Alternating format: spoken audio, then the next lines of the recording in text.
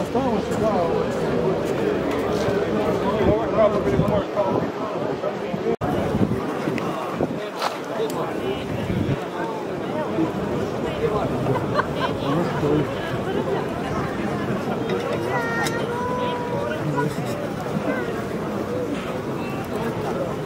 Sada smo ovdje u bolnici, sutra smo u koloni sjećanja.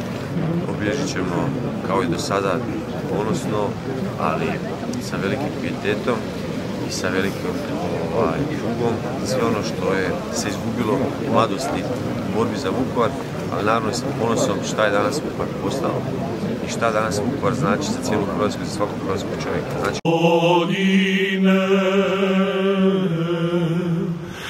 i